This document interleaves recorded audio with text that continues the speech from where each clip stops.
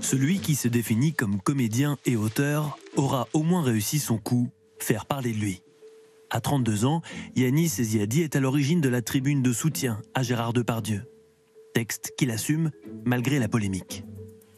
Enfin, de quel droit on empêcherait Gérard Depardieu de tourner actuellement? Qu'est-ce qu'il a fait de condamnable pour ne, pour ne pas qu'on le fasse tourner des blagues? Décrit comme provocateur mondain en recherche de scandale par le journal Libération, le jeune homme multiplie les apparitions depuis une semaine et dénonce l'idéologie dont les hommes seraient victimes. Il y a un climat de terreur qui s'est installé. Je, de terreur, c'est-à-dire parce que les mots sont forts. Oui, bien sûr, euh. mais les hommes ont peur. Peur de quoi? Ont peur d'avoir des plaintes contre eux quand bien même ils n'auraient rien fait. Mais Yanis Eziadi n'est pas qu'un simple comédien. Il est aussi très proche des sphères identitaires et des milieux d'extrême droite, dont Éric Zemmour. L'ancien candidat, chantre du masculinisme et de la défense de l'homme blanc hétérosexuel, exposait pendant la campagne présidentielle sa vision du féminisme. À la maison, je fais la vaisselle, je trie les poubelles et, j'adore faire mes courses. Et certaines femmes adorent s'occuper de leurs enfants. Elles sont heureuses d'aimer leur mari, alors pourquoi les culpabiliser?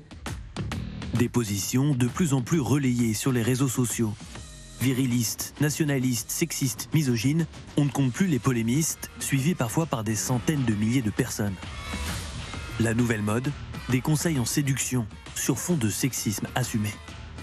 Soit elle a sa situation stable euh, avec le mariage, soit elle aura sa rente avec le divorce. Donc elle, c'est bon, le risque, il est sur vous, il n'est pas sur la meuf.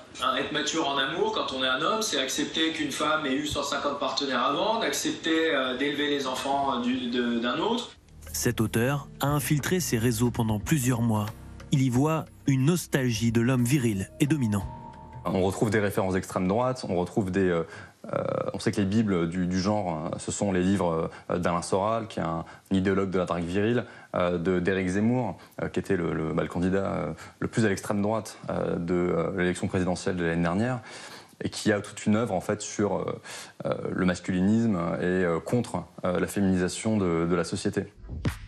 Une mouvance qui trouve ses racines aux États-Unis avec la droite alternative, ces suprémacistes blancs opposés aux droits des femmes, aux immigrés et aux homosexuels. Son leader est le très controversé Richard Spencer, figure de l'extrême droite la plus décomplexée. Hail Trump! Hail our people! Hail victory! Salut nazi et misogynie. Les femmes qui se disent les hommes ont tout faux, je dois être moi-même, faire carrière, faire ci ou ça, elles se réveillent à 45 ans, elles vivent seules, avec leur chat et sont malheureuses. Le féminisme n'a jamais apporté le moindre bonheur aux femmes. Leur mentor, Donald Trump, convaincu par exemple que les hommes et les femmes ne peuvent pratiquer les mêmes sports, il moque en plein meeting une jeune fille en train de s'entraîner à la musculation.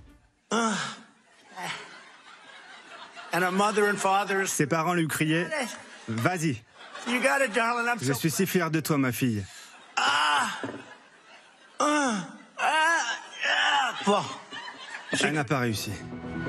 Mais la nouvelle coqueluche des masculinistes, c'est lui, le président argentin tout juste élu, surnommé El Loco, le fou.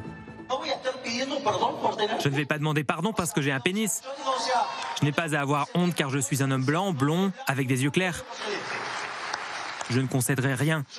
Rien au marxisme culturel, D'ailleurs, je vais supprimer le ministère des Femmes. D'après une étude du Haut Conseil à l'égalité, un quart des jeunes hommes français pensent qu'il faut parfois être violent pour se faire respecter.